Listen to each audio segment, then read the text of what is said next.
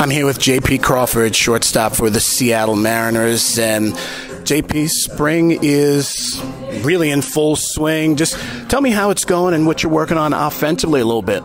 Uh, spring's going great. You know, got a good group of guys in here, just ready to get the season started. Um, really not trying to work on anything, just trying to, you know, stay right where I am. So thankfully, I'm just going out there really relaxed and just trying to, you know, do damage something I'll ask you about. It seems like everybody I talk to from a brother standpoint is from California.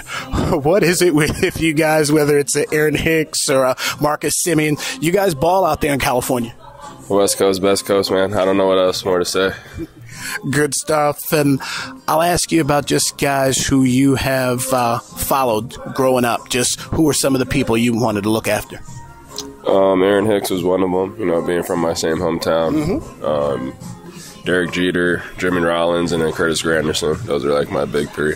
Okay, definitely good stuff. March 28th, opening day. What's the walk up music going to be for you? I know you like uh, music. Yeah, for sure. I have the same ones I've had the last couple of years. You know, my reggae songs. Can't listen to no hip hop because I get too geeked up in the box. So I have to have my reggae so I slow that heartbeat down a little bit.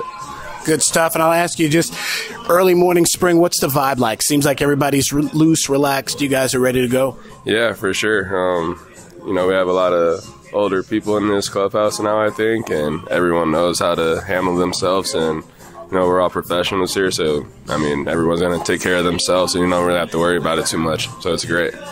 Thank you so much, my man. Yes, sir. Thank you.